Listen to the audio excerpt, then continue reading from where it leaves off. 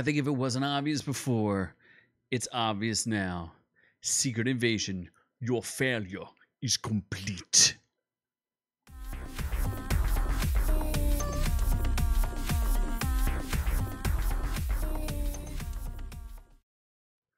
So after six episodes, Secret Invasion starring Samuel L. Jackson as Nick Fury is over.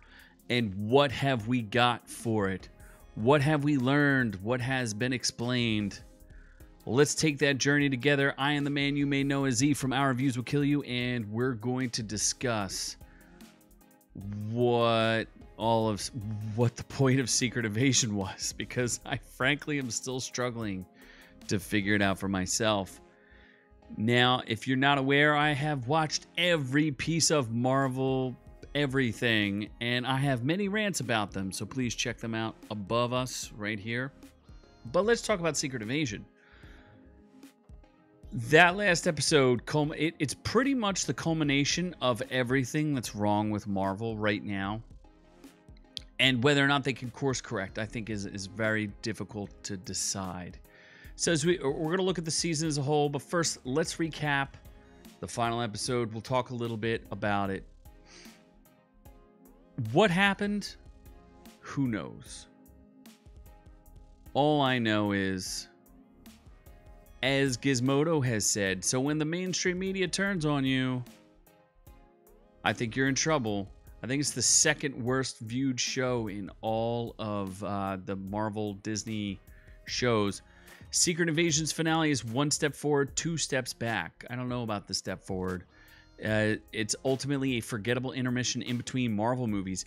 First of all, how does it connect to any Marvel movies other than explaining or not explaining why why is Nick Fury gone? Like I don't know, who cares? So anyway, I thought maybe it was possible for this to come home and maybe let's make Nick Fury great again, but that did not happen. All the episodes were directed by Ali Selim, not a good director as far as I'm concerned. Kyle Bradstreet and Brian Tucker, terrible writers. There's some mistakes in this final episode that I think are pretty unforgivable, some editing mistakes. So we'll talk about them and we'll get ourselves there. But first, let's talk about what happened in this episode. We get a reiteration of what happened and what didn't happen. Basically, the story is Nick Fury at the end of Captain Marvel promised the Skrulls that he would do something, like he would get them a home planet with the with the partnership of Carol Danvers. You may know her as Miss Marvel. Uh, she did nothing. She is not culpable for anything that happened in this. They don't even address the fact that she's culpable, as Gravik has decided Gravik, who was a young pupil of Nick Fury. So Nick Fury made a deal with the Skrulls when they came back to Earth. They said, "You work for us, and we will help you come up with. We'll help you get a home planet." Why a technologically superior race that can you know travel through the stars and colonize the stars would need earthlings who can't fly outside of their own solar system. Why would they would need us to find a planet? I don't know. I'd guess Captain Marvel could push them there on a space ferry or something, but none of that makes sense. And at one point in the series, Talos, the leader of the Skrulls, invites a million Skrulls back to the planet Earth because they can all fly there, yet no one from Earth can fly them to their new home planet. So Gravik was a pupil of Nick Fury's and heard the promise and doesn't feel like Nick Fury delivered, but doesn't care about the fact that Carol Danvers didn't deliver. Sounds great. So what ends up happening is uh, we we jump into Nick Fury talking to his Skrull wife, which I don't care, and I don't know what's going on there. Like, just I, I don't care about any of that part. Like, it's just not interesting. Like, what is Nick Fury's character arc? He's old and he sucks and he doesn't like what he's doing. Okay? So then he rolls up on New Skrullos, and remember, New Skrullos is in a radioactive waste site or like a former nuclear um, whatever, nuclear power plant. So humans cannot survive. They make a big point of this because when Fury is going in to meet Gravik because he has all of the DNA of the Avengers and like every single super powered everyone ever. So when he has all those superpowers, he goes into New Skrullos and he needs to take, I guess, radiation pills. And even Gravik thinks about this and is like, oh, yeah, this makes sense to me. He's human. He's probably going to die of radiation poisoning. At no point was I convinced that that was actually Nick Fury. Under there was just there was just I wasn't convinced at all when he stepped foot in there. I was like, this this isn't the way this is going to go down. But that will lead us to perhaps the stupidest decision I've ever seen in writing for the MCU ever. But we'll get back to that. But for now, back in London, uh, the president's still laid up and he's getting some awesome advice from Scroldy. Skrull Rhodey. And Skrull Rhodey is telling some Navy admiral that she's dumb and she should go away. She doesn't have any more scenes in the in the show, so she's just there to be told that she's stupid and he's like, we need to obliterate Russia and blah blah blah blah blah. And then the the lady spy master, who's British, decides that she came to America all of a sudden and is like, "Oh, Nick Fury's after you. He's coming for you." And I was like, "Yeah, obviously." They go back to New Skrullos again, where they're talking to Fury, and Fury just hands over the Super Skrull serum. So his plan, this is this is the worst plan ever, is that he's going to give Emilia Clarke an untrained, not like she has no character arc by the way. Emilia Clarke has zero character arc. We don't know her motivations. We don't really understand anything, but she is posing as Fury, and the two of them, and I knew this was going to happen stand in the Super Skrull making machine together. Now, when they ask Gravik, where are all the other Skrulls? And he had told us he was going to make a Super Skrull army. He says, no, they're all packed away. Packed away where? No one knows. No one knows. Doesn't matter. Who cares? Our writing is terrible. In fact, at one point, Fury, who is Emilia Clarke, goes and sees all these other dead Skrulls and it's just like, oh yeah, whatever. This is cool. No big deal. Who cares? so they go through the Skrull machine together, and it was pretty obvious that they were both going to get super Skrull powers. I originally thought maybe they would try to, you know, poison Gravik, but no. Instead, they're just going to give him super Skrull powers because it's okay. Strong Kwam and Clarke will take care of him, even though she's like two feet shorter than him. You know, it doesn't matter. You get the power of Carol Danvers, and it's all good. Even though you've never used the powers, it's all good. Don't worry about it. Don't worry about it. So they start to move the president up into a more secure area. I don't know why up is more secure, but that's what they decided to do.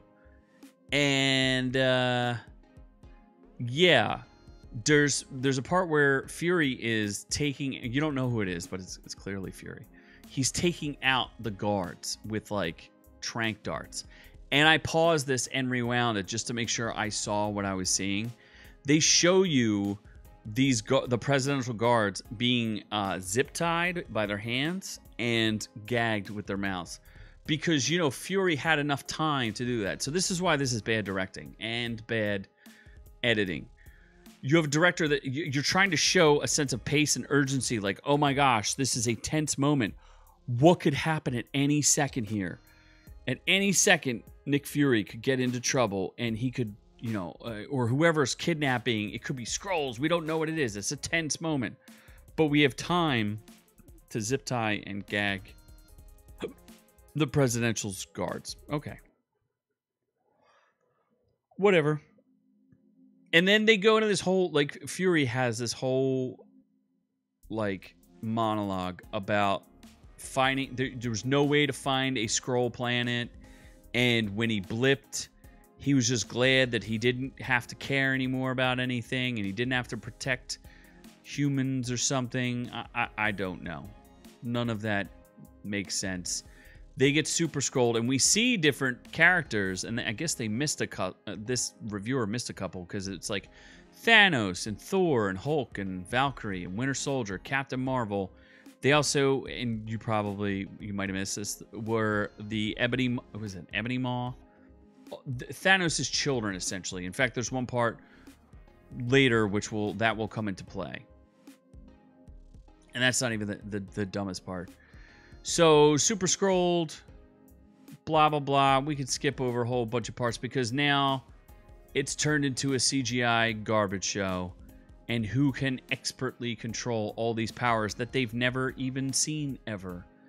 In fact, yes, there is a part where Emilia Clarke has a Drax arm. And this is just the CGI is so stupid. All of this is stupid. So Fury's giant like his big flip is I'm just gonna make Emilia Clarke's already super awesome. Let's just give her all the super awesome powers. You probably didn't even remember that Ebony Maw was telekinetic, and you know, just from seeing his arm, you're supposed to know who is who, like what powers they using. I think I saw a Hulk leg in there somewhere.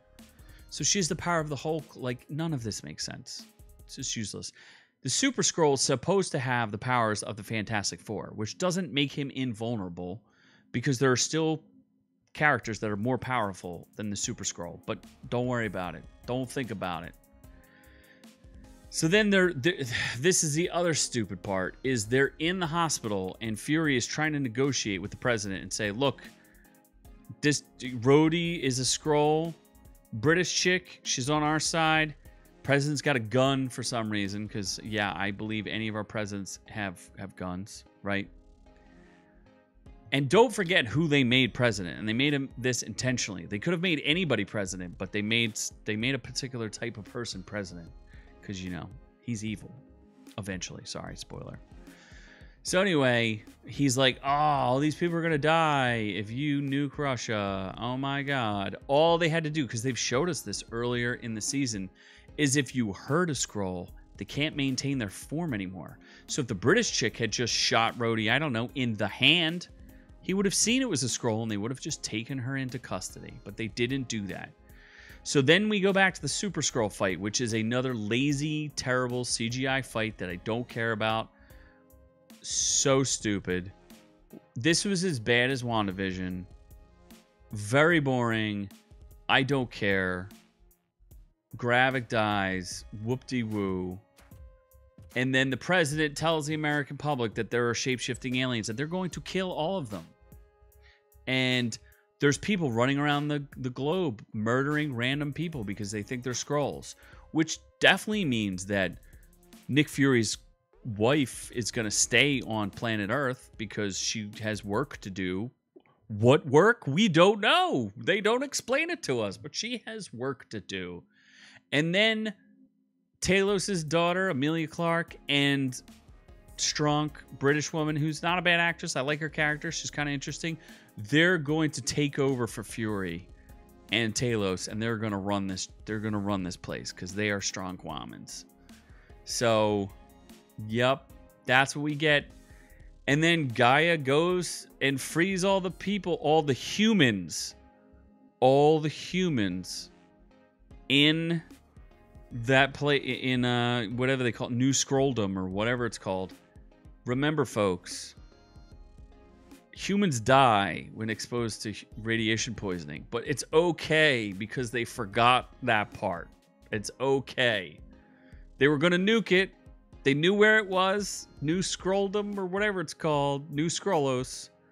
They're going to don't worry about it. Don't don't listen too hard they have a part where Martin Freeman in his stupid character is talking to Rhodey in his stupid character and like, you've been down here for a long time. Bro, how long have you been there? How do you even know? You just woke up. You could have been there forever. They also explain like, oh, this is this is what happens when you do something let, let them sit there for a long time. They show all these people in like these pods. They don't explain what it is I don't know what it is. And then Nick Fury calls the president and calls him a racist. And that's your story. That's great. Oh, and then they have the worst ending scene ever of E.T. phone home. You know, Nick Fury's been demoted to E.T. and he's going to go phone home. And this is just so stupid. And of course, he kisses a Skrull. Ow! Who would have? Did anyone want to see Nick Fury kiss anybody? No. Did anybody want to watch him kiss a chick in full Skrull costume? No. Nobody wants this. What is going on? What does it even? What's the point of this reveal that he's going back up to Saber? Why? What? And then there's something about the Kree. The Kree open peace talks. What do you? None of this makes sense. It's boring, a waste of time. They killed Talos. Great. Who cares? They also apparently killed Maria Hill. She's Cobie Smulders is dead. I guess she must have mouthed off to somebody. She took some pictures she wasn't supposed to take. Either way, this is one of the worst. It's just terrible. And what's kind of hilarious about this first of all, they want to. This is CNN. Even CNN says that this was bad. That's how bad things are. It's it's bad. It's real bad. And he's like, "Well, it could have been good, but I don't really like it." And it's just he can't even explain why it's okay. He's just like, "I liked Olivia Colman, the British chick." Okay. Sure. There, he's like, Secret Invasion wasn't bad, but for students of the Marvel Cinematic Universe, it seemed more like an elective than a required course. How it connects to anything else, I don't know, and I don't frankly care. I didn't need a sequel to Miss Marvel or Captain Marvel, or not Miss Marvel, Captain Marvel, whatever. But here is the other hilarious failure. So this is why this is secret failure, even though it's not a it's a secret invasion failure. It's just failure. It gets the finale gets the worst ever Rotten Tomato scores in MCU history. You know what are the worst MCU episodes? Take a wild freaking guess. She-Hulk, episode 6, which is the terrible one where she gets drunk at a wedding. Complete waste of anyone's time. episode 4 of Secret Invasion, or no, episode 1 of Secret Invasion, 52%. Not good. Super boring Secret Invasion Episode 2, 50%. Goes downhill from here, folks. Secret Invasion 3, 38%. And Episode 4, I guess they're tied for second worst. and then uh, I guess Episode 5 had a little bit of action, so it wasn't the worst thing ever. I mean, it wasn't good action because literally everybody was standing out in the open to get shot at, but that's okay. Don't worry about it. Secret Invasion Episode 6, 13%. Another CGI clump of garbage. I guess that's supposed to be Groot, and I guess that's supposed to be the Rockman from Thor. Your guess is as good as mine, folks. Let me know what you think in the comments down below. This was hot garbage, and it ain't getting any better from here there's I, I, I don't I've heard bad you know Daredevil's not looking so hot. I'm uh, this is not good, folks. And I love the first 10 years of Marvel and now I'm like this is some of the worst stuff on television. This is bad. It's real bad. Let me know what you think in the comments below. I would love to hear from you. I read them all and we'll have a little discourse, figure it out. Together, we can get through this. Check out my other rants. I would love it if you did like and subscribe, you know, thumbs up, all that stuff help, really helps the channel. We could really use the help. We appreciate it. You can also catch our full length audio podcast. It's hilarious fun with my partner, New Noob. We take it to you. It's on Friday night, 7:30 p.m. Eastern Standard Time. Come join the party. It's good time had by all as we do reviews, news, and other great stuff there. But as for myself, I am on to the next one.